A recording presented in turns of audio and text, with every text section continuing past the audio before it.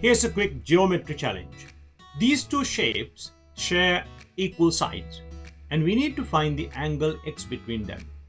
Pause now and see if you can work it out. Okay, let's do this. Both shapes are regular polygons. I'm just going to extend this common side.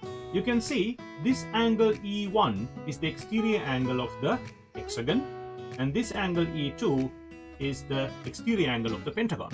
Now we know the sum of exterior angles for each polygon is 360 degrees, but on the hexagon we have six sides, so obviously one of them is 360 divided by 6. For the pentagon, it's 360 divided by 5, which is 72. Now we know clearly x is the sum of E1 and E2, so my final answer is 132 degrees.